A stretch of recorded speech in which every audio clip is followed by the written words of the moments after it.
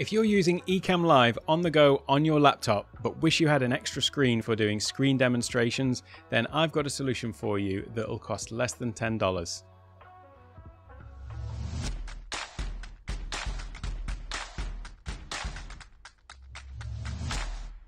Hello, welcome to Take One Tech. My name's Alec. So today we're talking about Ecamm Live and specifically if you're using Ecamm Live on a MacBook single monitor setup on the go, or even if you're using single monitor setup at home and you want to be able to do screen demos and there are screen demonstration features built into Ecamm Live and they do a reasonable job for if you are using a single display. But sometimes, personally, I felt like I needed that extra display just to use specifically for screen demo purposes.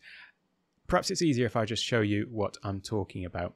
So if I go over and say share my uh, my whole screen, but I'm going to do this on uh, demo the demo mode that's built into Ecamm Live, so that you can sort of see what I'm seeing and you can see the uh, slight issue that I'm trying to resolve.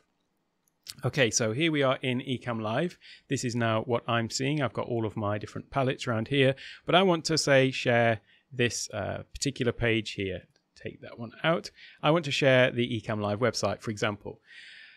So how do we do that in Ecamm Live? Well, as I say, there are some features built in to specifically for screen sharing. So if I go to scene, scene, uh, create new empty scene, and then I have the source is a screen share. So there we go.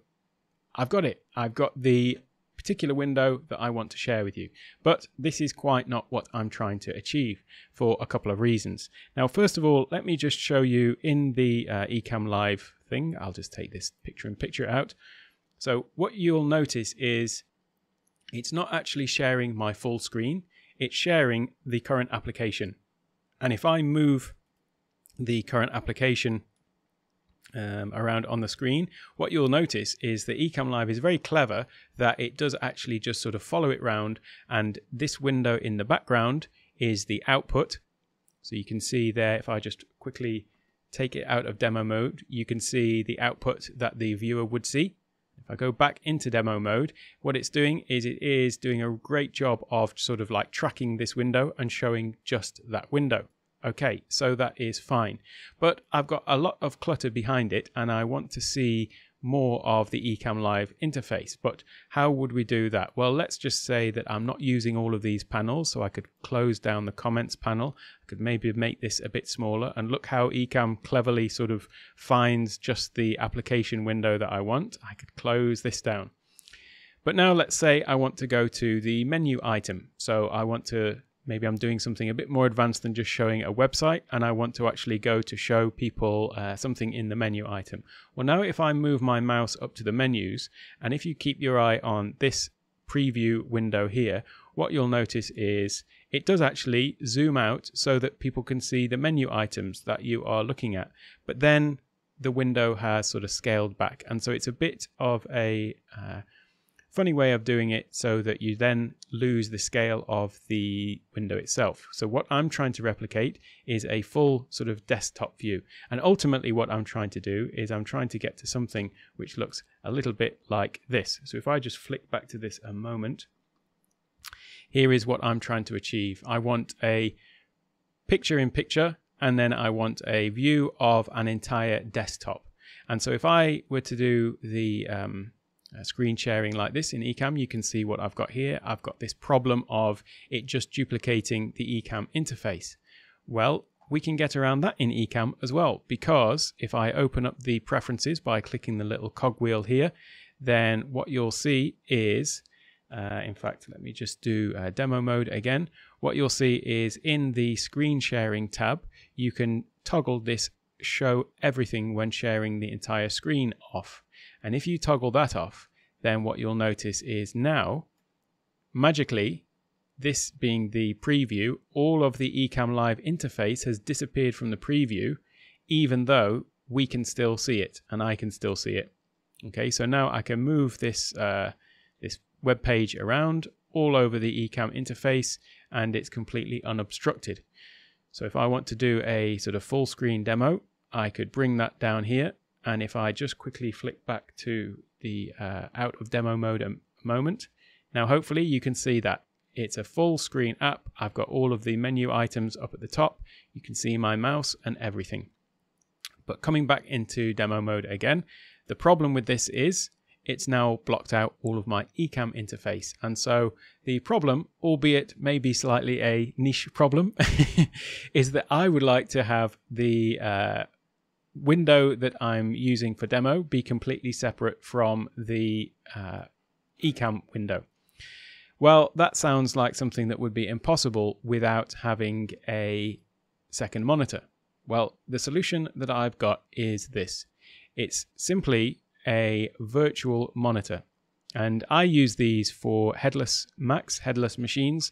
So, for example, I have a Mac Mini that I used as a home server, and so it doesn't have a monitor in it itself, but rather it has one of these plugged into the back of it. And what that allows me to do is then I can just sort of remote into the machine from anywhere. It doesn't need to have a monitor on it, but then I can do screen sharing over the internet and I can see it as if it was, as if it did have a monitor.